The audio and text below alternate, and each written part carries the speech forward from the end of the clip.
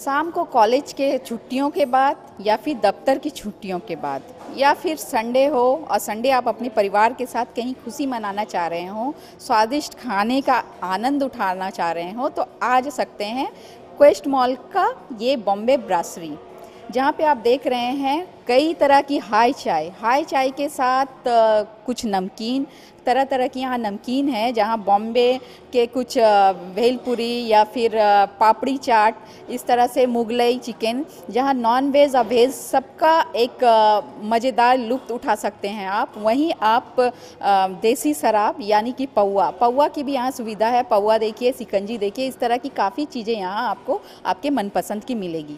तो और देर ना करके आ जाइए, आप Bombay brasserie Quest mall Kolkata. Cameraman Pratyay के साथ मैं प्रीति सनमार कोलकाता।